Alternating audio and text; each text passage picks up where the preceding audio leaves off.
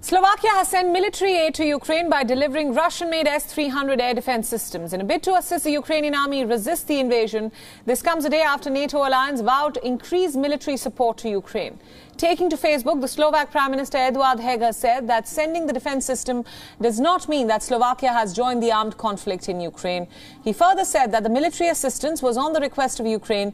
This will be the first time a country has sent an air defense system to the country. Earlier, Slovakia had promised to provide Ukraine the defense system only if the country received a substitute to avoid a security gap in the NATO alliance. Slovakia's president said that his country's security has also been met through this move. US President Joe Biden hailed the decision and has promised to deploy a Patriot missile system to replace it. This will be the fourth Patriot system in Slovakia. Out of the other three, two were provided by Germany and one by the Dutch.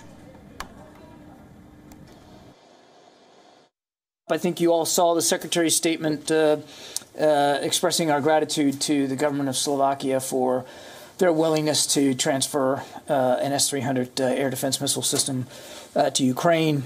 In that statement, he also uh, talked about um, our ability, willingness, and and and upcoming um, provision of a temporary deployment of a Patriot system into Slovakia, so that their air defense can be uh, preserved. It's part and parcel of the larger effort that we've been doing now for quite some time to bolster uh, NATO's eastern flank and improve our deterrence and defense capabilities there. This is a temporary deployment of a Patriot system uh, while we continue to consult and talk to the Slovakian government about more longer term solutions. Slovakia was one of the countries which had warm ties with Russian President Putin, but his image has taken a dent since a continuous assault in January. Before the war, only around 45% believed that Russia was responsible for the war, while it increased to nearly 62% today after the invasion. Last month, the government allowed the presence of more than 2,000 NATO service personnel in Slovakia, which comprises a mix of Czech, Dutch, Polish, Slovenian, American, and German soldiers.